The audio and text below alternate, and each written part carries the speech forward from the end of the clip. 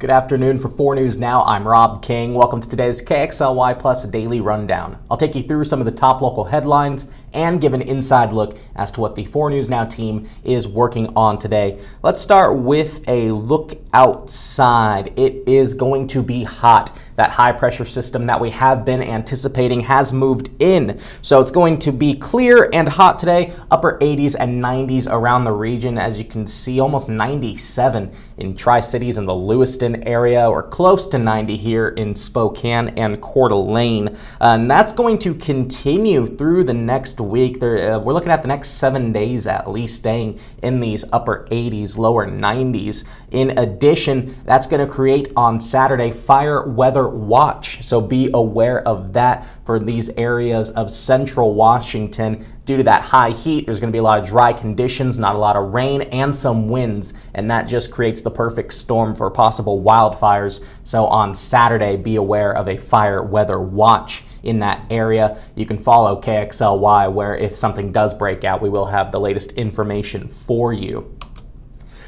Let's take a look at what the rest of the week's going to look like. As you can see, that heat is going to stay at least through Wednesday, staying into the 90s. It's going to be hot on the weekend, hot into next week. Uh, so be sure to stay hydrated and uh, check on your elderly relatives and pets as well. Be aware the heat does impact them. So take breaks when you can and uh, just get ready for summer weather right now.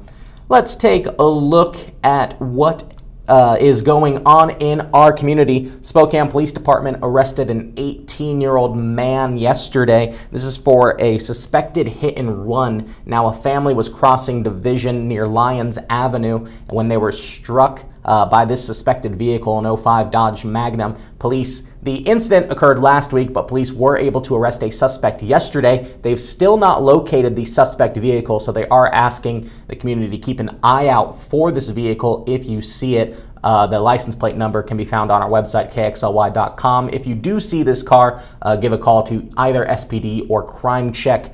Uh, fortunately, the family that was struck in the crosswalk, they all three suffered non-life threatening injuries. It was a mother who had serious but non-life threatening injuries, a toddler who suffered minor injuries, and then a baby in a stroller that fortunately was unharmed, though the stroller was hit by the vehicle. So uh, SPD did arrest again an 18-year-old man for the felony hit and run in this case.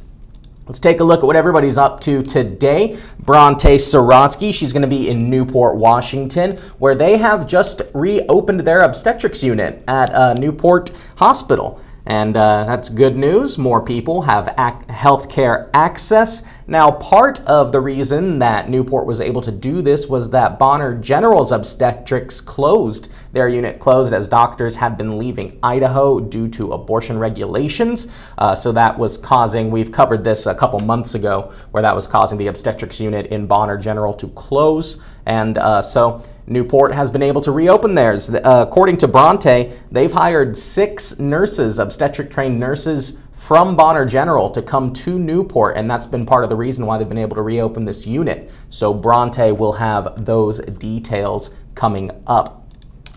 Uh, Allison Martinez, she is looking at a health uh, a new tax that's going to be coming out of your payroll. It's a payroll deduction. The Washington CARES Act funding for that goes into effect July 1st. Now, what this act does is it's going to create funding to provide long term health care for Washingtonians. Uh, that's going to be if you need transportation, if you need meals, if you need home modifications, maybe you're in a wheelchair, you need a ramp installed. This is where some of that funding is going to come from, and it's going to amount to a new payroll deduction of about 0.5%, about a half a percent which um, for someone making the median of about $36,000 a year, it's going to be about 25 bucks a month. So maybe $12 a paycheck if you get paid bi-weekly like we do. Uh, so, and Allison is going to be speaking with people that are for it, uh, people that were against it, and uh, what it's going to look like going forward for the Washington CARES Act.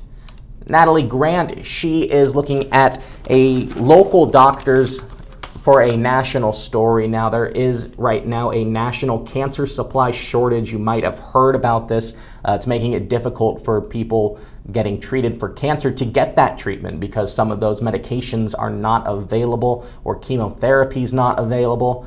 Uh, so doctors are having to explain to patients why they're not able to get treated as quickly as they normally would if this supply was as high as the demand. So Natalie is going to be speaking with patients that are experiencing this, also doctors, and uh, what they're trying to do to get around this current shortage. And if there is an end in sight, Natalie Grant will have that information.